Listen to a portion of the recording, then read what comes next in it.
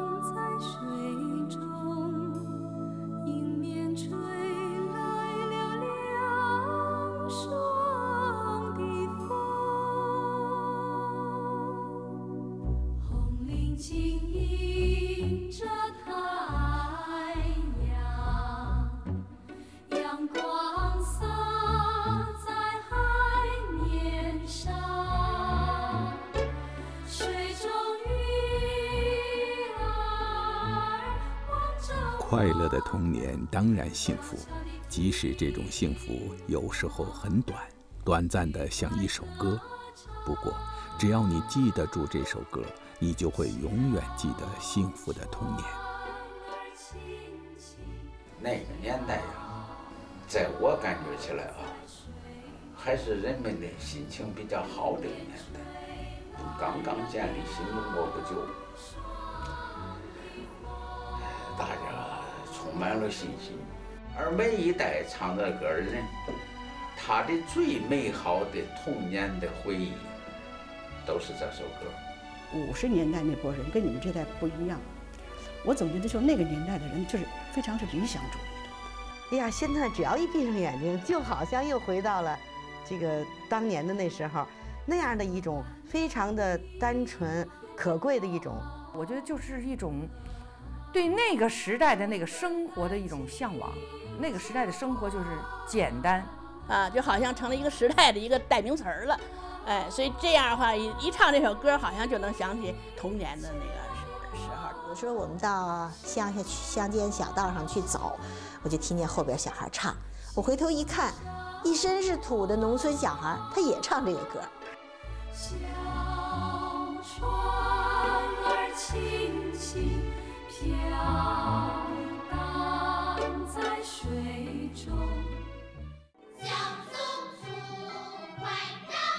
记得吗？那时的柏油马路还不多，用泥土和砖铺成的道路上，永远跑着快乐的学生，书包在他们身上颠来颠去。洒水车刚刚从这里过去，路面上回荡着一股芬芳的泥土香味儿。早晨的太阳把一个没有多少楼房的城市照得那样明亮。上学的孩子们顾不得这许多，他们似乎要争着第一个赶到教室，把昨天听说的新鲜事儿。告诉最好的朋友，在我们祖国美丽的首都北京，有一个北京小学。在五年级甲班，一共有四十几个同学，只有一个调皮捣蛋、不好好学习的江林，和一个骄傲、不合群、不关心别人的杨永利，还没有戴上红领巾。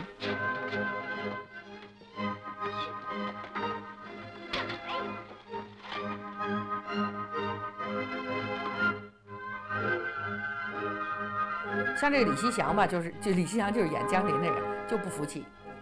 他老觉得有的有的叔叔阿姨对我好，他不服气，那个他就成心有时候逗我欺负我。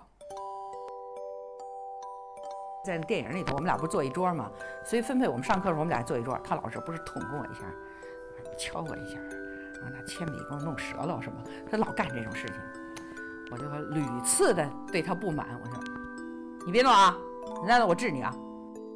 有一天晚上就坐那，坐的我这男女生宿舍呀，在那个教室的两边，他在那边，我在这边，气愤，气的放下书本，噔噔噔噔噔噔跑到他们宿舍里。李想，你给我出来！怎么了？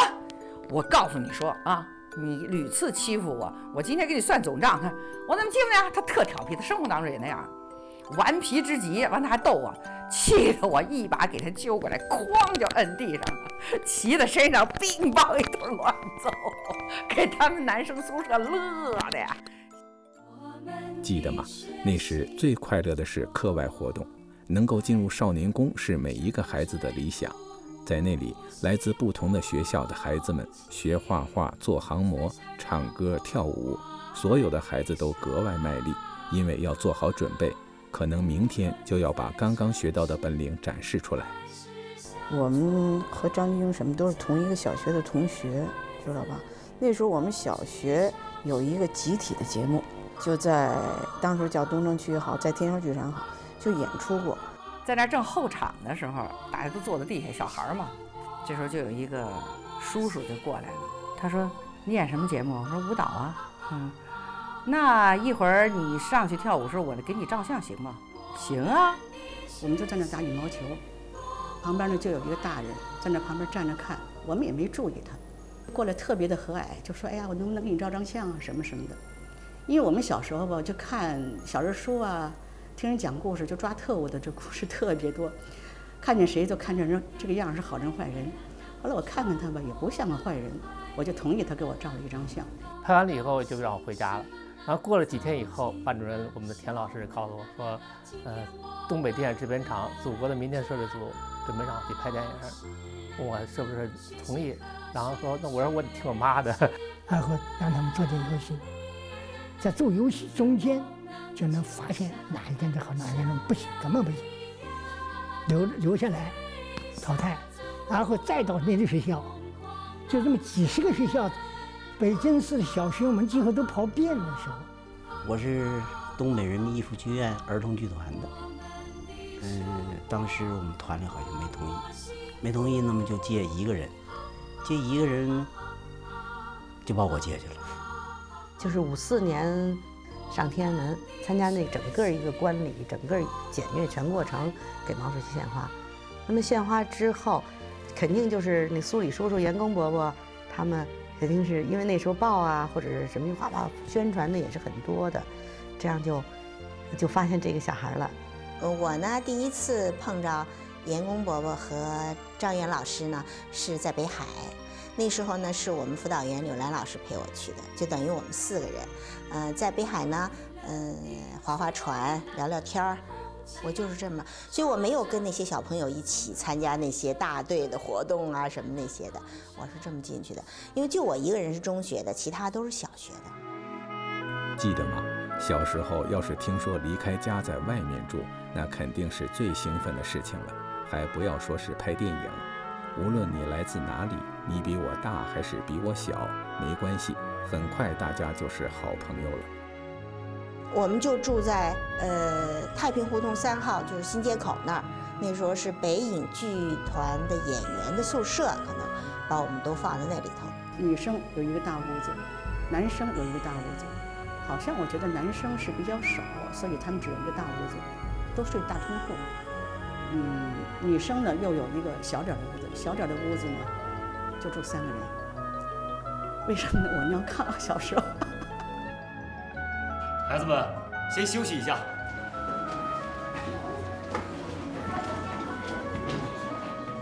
呃，先是发了一个剧本，剧本呢是，我记得是牛那个马粪纸，是那个颜色的，很糙。我记得好像是林兰导呃编剧，对吧？当时叫《祖国的明天》，然后看了一下。可能导演呢也在考虑《祖国的明天》还是《祖国的花朵》哪个好。这个也征求小演员的意见，你们觉得，你们喜欢祖国的花朵还是祖国的明天？咱们让孩子们给起个名字。怎么样？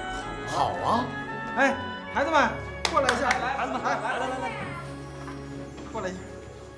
什么事儿啊？什么事儿啊？什么事儿啊？什么事儿啊？导演师，交给你们一个任务。什么任务啊？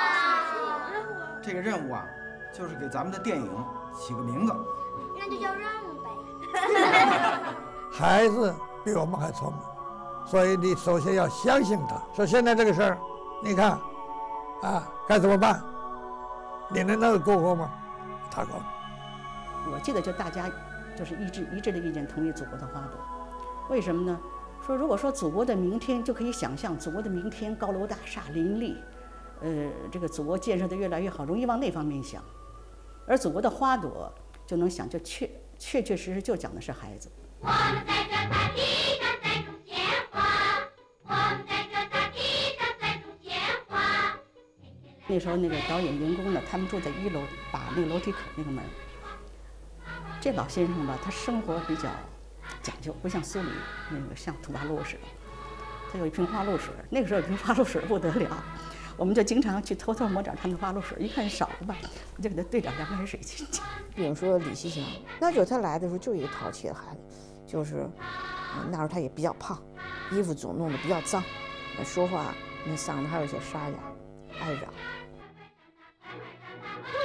别干山沟，家人给吓跑了。最听话而最懂事的就是赵卫琴，赵东瑶女儿，她和她的小儿子，她的小儿子当时六岁是七岁，我记得很清楚。那个时候就看三国，我们大家都，哎呦，这么点孩子就看三国，挺有意思的。弟弟，什么事儿啊？别管了，告诉爸爸别等我回家吃。那你早点回来。五甲班少先队的中队长梁慧明要帮助两个没入队的同学，可是有什么办法呢？你不愿意分功课就别找词了。我没找词儿啊，就是想一个人温，我可想俩人一块儿温呢。梁慧明要帮助江林温习功课，可他却装肚子疼，和李香仁跑到屋顶上掏麻雀去了。哎呦，你怎么了？我要上厕所。我在学校来说是个胆小怕事的孩子，不太好动，就让我眼睛玩的，这这导演反复告我怎么的，这包包括对家小人怎么蹬大腿，怎么蹬的都搞不明白，反正那这哎那个谁苏李初他们一步步教我的。江林，你看，哎呀，杨国明走了，你干嘛撒手啊？他走他的。江林，你又想干嘛？干嘛不许我提议吗？那你提吧，我提议杨永丽演大姐。导演说现在要拍一个特写镜头，你要一拍桌子，我不演了，我不同意，我不演。因为那镜头很大，一大特写，只是一个大脑袋，你要注意这个，然后你还得把你眼睛里头那种对他们生气的那感觉，你要演出来。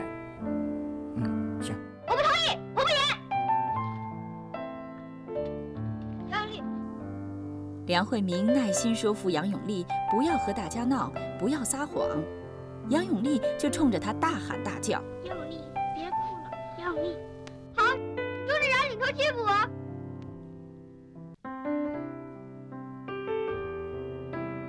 梁慧明都气哭了，他只好和中队委去找五甲班的级任和辅导员冯老师。你别理他了。实际上呢，就前半截哭在北京，然后后半截到冯老师的办公室里去，呃，家里头还是办公室里去哭的时候呢，就到长春去了，那都是几个月以后了。后半截其实是假的，前半截还是真哭，后半截的眼泪都是用那个眼药。那个蒸馏水滴进去的，但是你要看那个电影，你就发现后半截的哭啊，比前半截还真一点。大概那时候学的比较时间长了一点儿。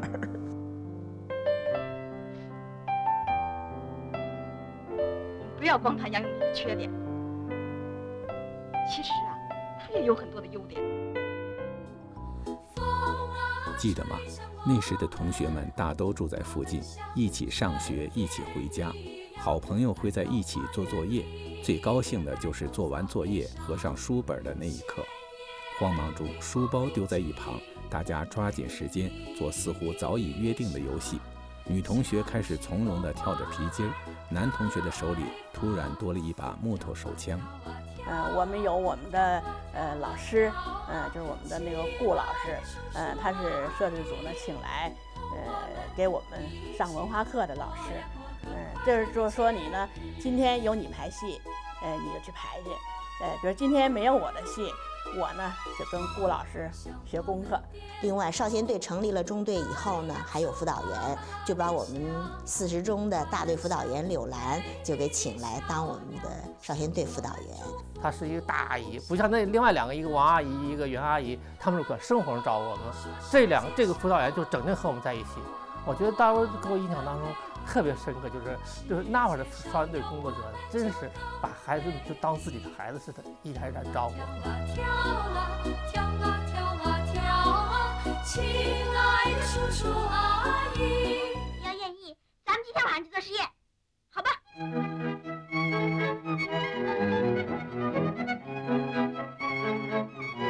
经过冯老师的帮助，梁慧明和他的中队委们不再心急。他们找江林去做氧气实验，引起他对学习的兴趣。这是怎么回事？看书。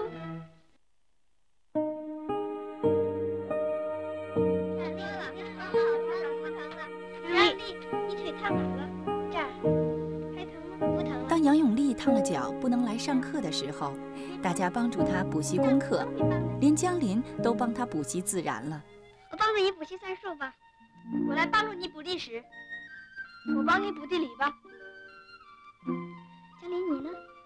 我能帮助他什么呀？哎，你可以帮他补习自然呢。是啊，那好吧。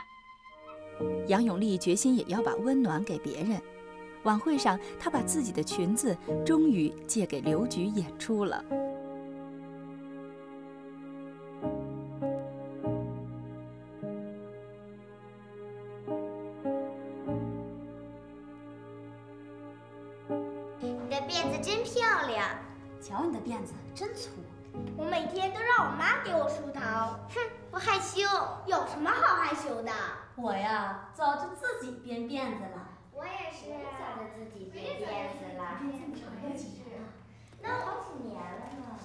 说这孩子们都梳辫子，是不是没个性？我觉得也是。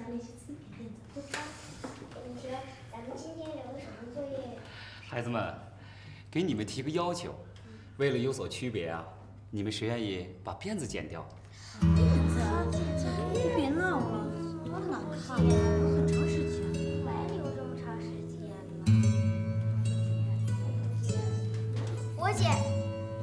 后来我就说，我说那，我说那我就我剪吧。嗯，当时我说我剪吧。你想好了吗？剪掉了辫子可回不来了。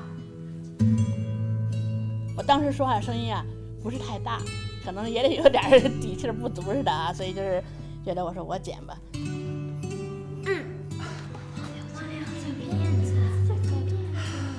我自己的辫子啊，剪下来以后，嗯，两尺。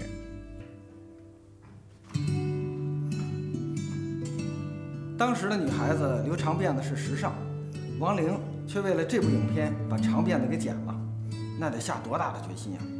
用今天的话来说，这就叫职业道德。从那以后，王玲就再也没梳过辫子。可是真是剪下来了，你看，哎呀，自个儿这辫子就再也不能长上了，还掉眼泪了，哭了啊。反正但是也就从那个剪完以后吧，嗯，应该说，就从那时候以后，我就再也没留，然后一直剪短发到今天。我爱北京天安门，天安门上太阳升。记得吗？学校的老师好像永远有组织不完的活动，那都是能让同学高兴的时候。夏天，同学们会去热闹的路口帮助警察叔叔擦洗岗亭；冬天，同学们呼着热气在路边扫雪，路上的行人正在向孩子们微笑。正当江林预备在暑假好好补习功课的时候，他的妈妈生病了。杨永利知道了情况以后，冒着酷暑告诉了梁慧明。最后，大家帮助江林家干活，使他能抽出时间温习功课。孩子们来了，我也挺感激他们，是吧？呃，来为我打扫卫生啊什么的哈，帮孩子。呃，我那孩子功课我也没法弄他，我心里也挺着急的。家里好像就这么俩人，我跟跟我的那个儿子相依为命的。我觉得李希祥呢是，呃，在我们这里头最不幸的一个孩子。他呢原来家里就很穷，他当时的妈妈呢是养母，呃，被抱来的，好像没有父亲了。他在豆芽菜小学上学。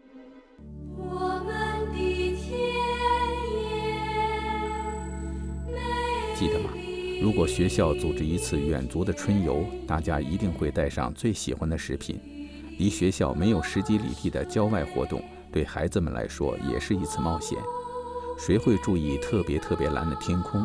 谁又会注意各种形状的云彩？大家猜测着，那边青色的山里藏着什么秘密。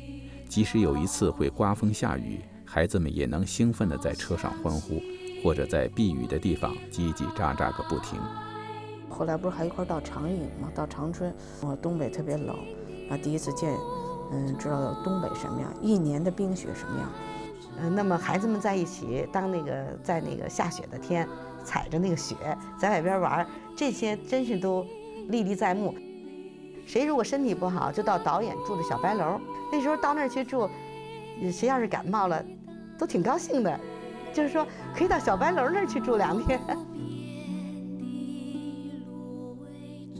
进了北京，我什么都没学会啊，我学会了划船。这一天在里头划，而且我还划得很好哎。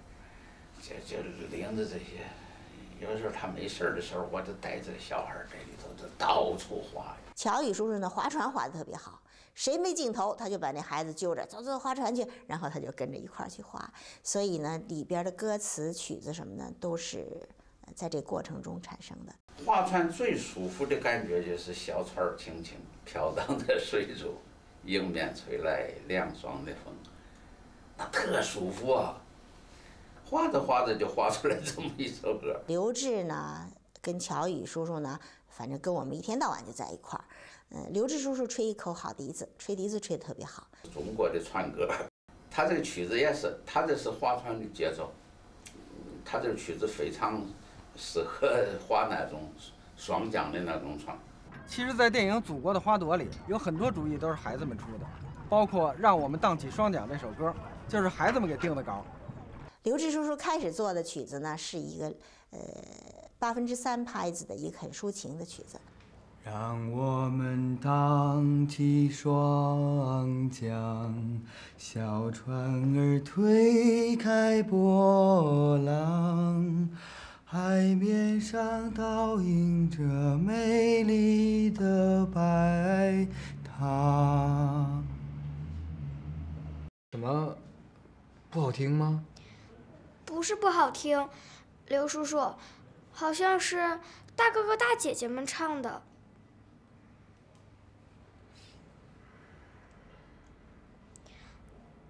刘叔叔，那那我先走了。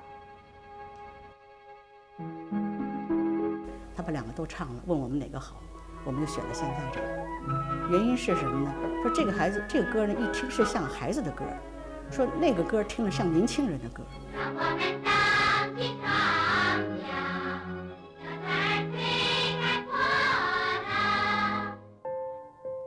暑假很快的过去了，北京小学的同学们又开始了他们新的学年。五甲班全体同学都升上了六年级，江林和杨永丽也被批准入队了。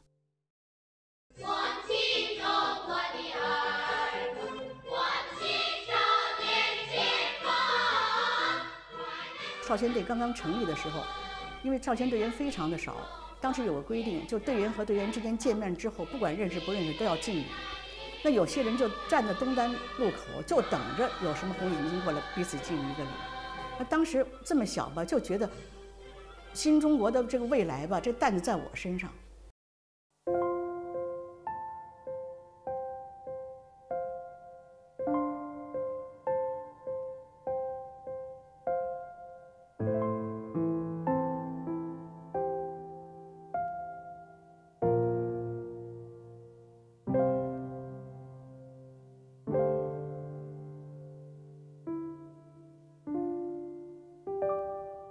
记得吗？童年是在什么时候离去的？那是谁也说不清的时候吧？是不是小学毕业了，或者最好的朋友转学了？反正那时应该有一份约定，关于将来的约定。我说严公伯伯，你说我将来嗯做什么好啊？严公伯伯说你呀，你还是回去搞你的科学吧。我从毕业分配到学校，我就没有调动过工作，就是我一直在学校。这不拍《祖国花朵》那张钧甯吗？他们说是啊，说他今年高中呃高三毕业是，那他他他报没报艺术院校？说没报，没报那不行，那得动员他报啊。虽然一门心思想考电影学院，但是呢，后来中央电视台，呃，开播的时候就把我给调去了，我就服从分配。后来到了这个呃教研部门了，但我们是基教研中心，是搞教研工作的哈。呃，比如说我比较喜欢语言呐、呃，喜欢文学啊，然后就作为我自己的一种，呃，其他方面的一个充实自己的生活吧，而没有作为自己今后就业的选择，所以就考了北航。另外一个就是江林，江林呢，一谈起他来，我是很难过。呃，在电影里头那个小胖子，谁看谁爱。你说划船那个那个傻样儿是吧？那个胖乎乎的，真是一个很可爱的小男孩。因为我们跟李希祥的直接联系并不多，直接联系并不多。然后，嗯，我知道他在比如上中学的时候吧，当时可能是不是上过六十五中还是怎么着，就在学校里可能也参与一些文艺啊、演出啊、搞话剧什么，这肯定有。然后他可能是上了文工团，大概是叫什么名字我说不上。那么现在想，可能是在新疆，是不是新疆军区文工团之类的？那么后来呢，就听说他犯了什么错误，就发配到煤矿去当民，就是真正的矿工，真正在底下背着这个背着矿，带着矿灯挖煤的矿工。就我在八几年，就是他回到北京来说，他和吕大愚一块儿到我们家，这可能就是我们最后一次见面吧。就是，嗯，他告诉我们，他找到了他的亲生母亲。大概是在一九八四八几年呢，八三年还是八几年，可以问问郭岩。那么就得到消息，就说李希祥想见见我。后来呢，我就跟郭岩一起，就约他到郭岩家去。我看到的一个人呢，当年你想我才四十岁，八年四十岁还不到吧，快将近四十岁吧，嗯，我看我就觉着是一个六十岁的老头，个儿还也就跟我差不多高，满嘴牙都没了。反正我是非常的难过。嗯，再隔些年呢，就听说他死了，得癌症死了。我的印象那天是五月九号，就是北京有一年在五月九号的时候，天特别特别的热，那那那天特别热。当时我记着送他们走的时候，记着那柏油路啊都软了。在李希祥在临走的时候还说一句话，说吕大愚，当年我就喜欢你。